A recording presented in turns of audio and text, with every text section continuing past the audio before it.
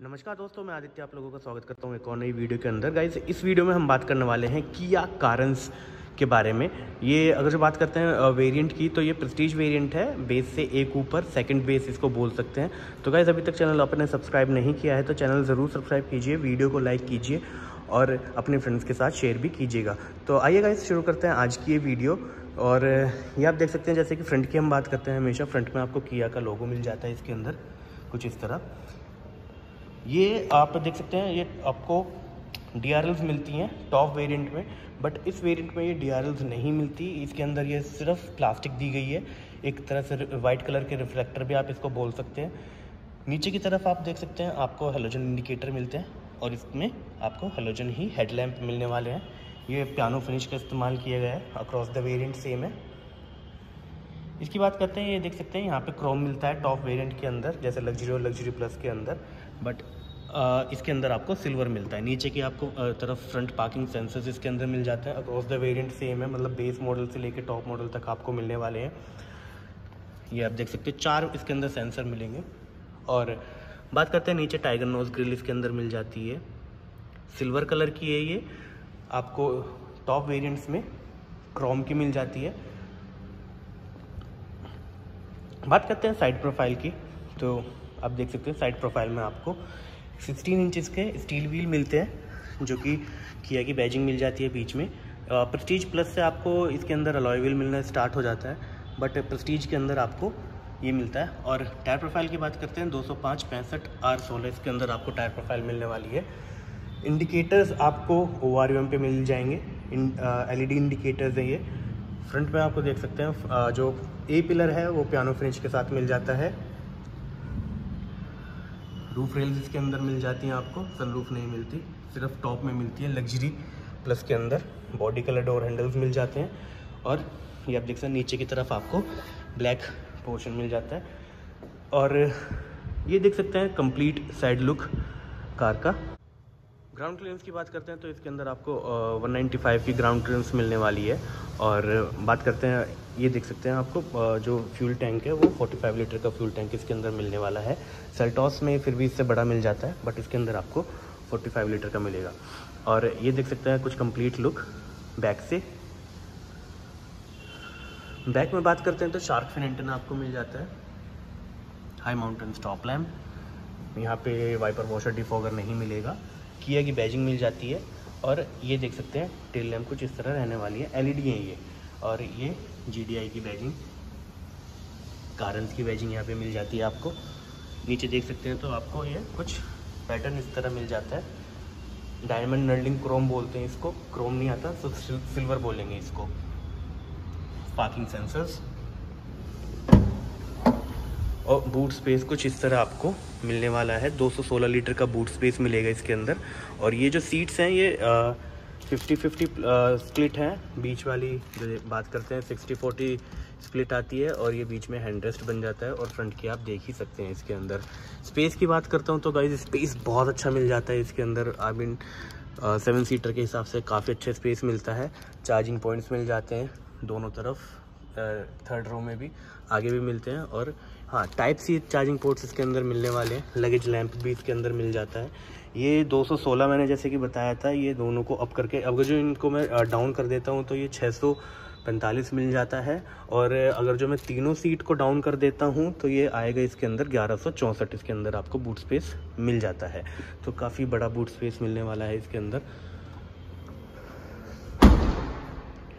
और हाँ एक चीज़ और बता देता हूँ गाइज़ इसके अंदर आपको across the variant safety same मिलती है सिक्स एयर बैग मिलेंगे बेस में भी, जो कि काफ़ी अच्छा काम किया है किया ने इस बार। और चारों टायर्स में डिस्क ब्रेक इसके अंदर मिल जाते हैं hill assist V S M आपको सारे मतलब सारे फ़ंक्शंस मिल जाते हैं इसके अंदर।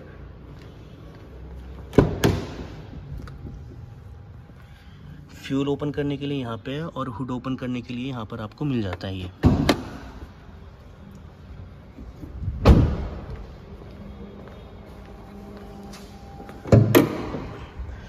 ये दे सकते हैं आपको 1.4 लीटर का टर्बोचार्ज इंजन मिलता है, जो कि सेम सेल्टॉस में भी मिलता है और जो पावर प्रोड्यूस करता है 140 पीएस की पावर प्रोड्यूस करेगा और two two forty two newton metre का टॉर्क प्रोड्यूस करता है। हुड इंसुलेटर इसके अंदर नहीं मिलता और हाँ किया जो इसका क्लेम करता है एवरेज वो सिक्सटीन का क्लेम करता है।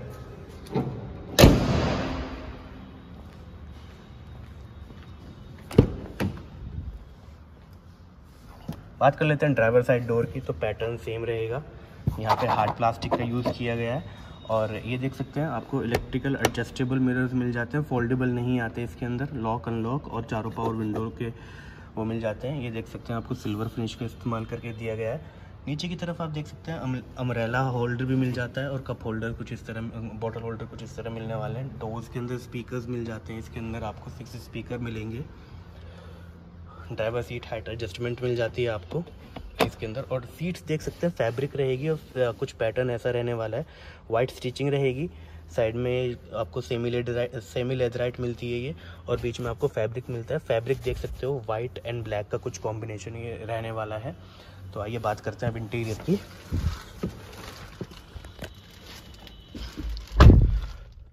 तो गाइज़ आप देख ही सकते हैं आ, स्टेयरिंग आपको कुछ इस तरह मिलेगा किया की बैजिंग मिल जाती है। आपको इसके अंदर आ,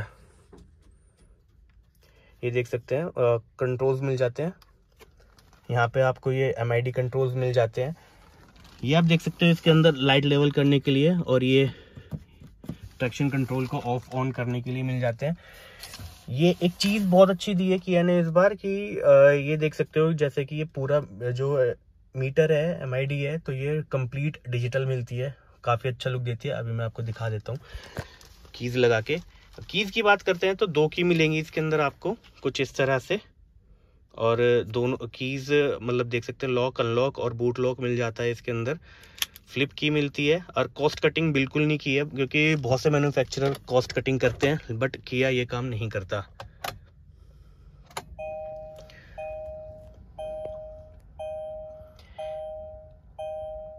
और ये देख सकते हैं आप, आपको मीटर कुछ इस तरह मिल जाता है। यहाँ से आप कंट्रोल कर सकते हैं इसको। ये देख सकते हैं, इसके अंदर ट्रिप ए ट्रिप बी ये इन्फॉर्मेशन मिल जाती है। ये देख सकते हैं ड्राइवर से असिस्ट लाइट्स वगैरह डोर वगैरह, ये सब आपको इसके अंदर मिल जाता है।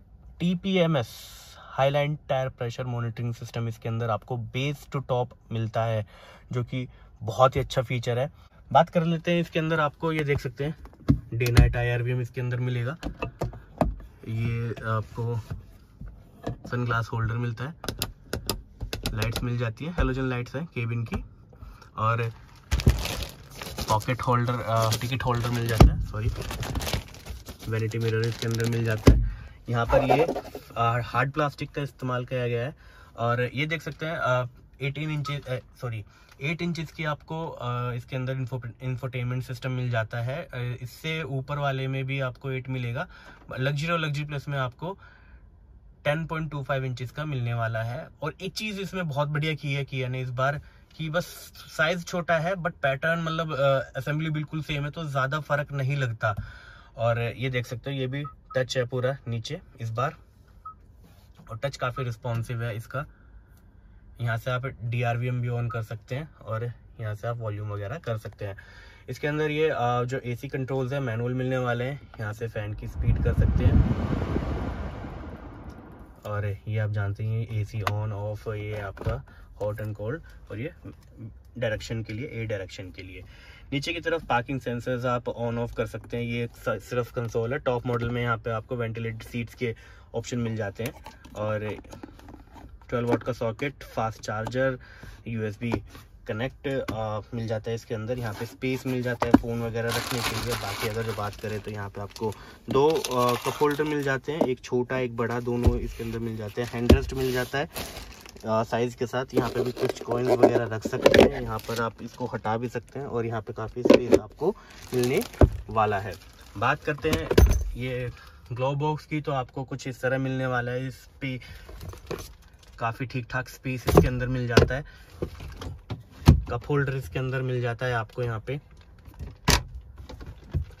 और ये काफ़ी अच्छा मुझे डिज़ाइन लगा किया की तरफ़ से इंटीरियर में कि एसी वेंट्स को भी बिल्कुल मर्ज कर दिया है डैशबोर्ड के अंदर।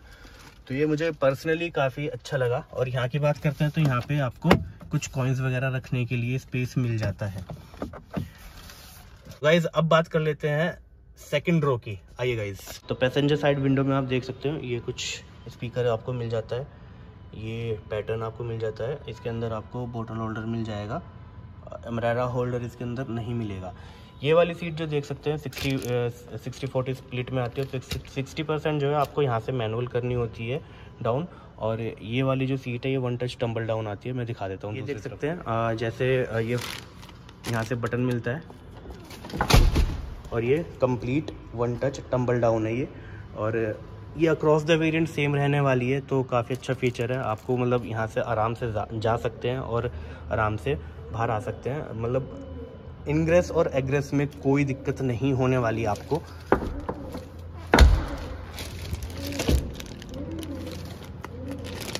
तो ये आप देख सकते हैं। इसकी एसी कंट्रोल की बात करते हैं तो पीछे की तरफ़ आप देख सकते हो फ़ैन कंट्रोल आपको मिल जाता है यहाँ पे। अपने अकॉर्डिंग नीचे दो आपको चार्जिंग पॉइंट्स मिल जाते हैं. अलग से फ़ोन रखने के लिए आपको स्पेस मिल जाता है यहाँ पे.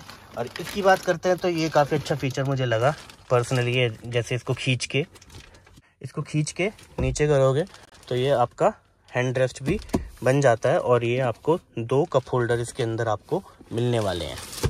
अब बात करते हैं एक चीज़ और मैं बता देता हूँ गाइस आपको. जैसे कि सभी के अंदर ये हेडरेस्ट एडजस्टेबल मिलने वाले हैं. तीनों रो के अंदर आपको एडजस्टेबल हेडरेस्ट इसके अंदर आपको मिलने वाले हैं। और हाँ तीनों ही रो में आपको एसी वेंट्स मिलेंगे। और तीनों ही रो में आपको लाइट्स मिलने वाली हैं। केबल लाइट्स की बात कर रहा हूँ मैं। आप देख ही सकते हैं अपनी स्क्रीन के ऊपर। तो गाइज़ अब बात करते हैं थर्ड रो की।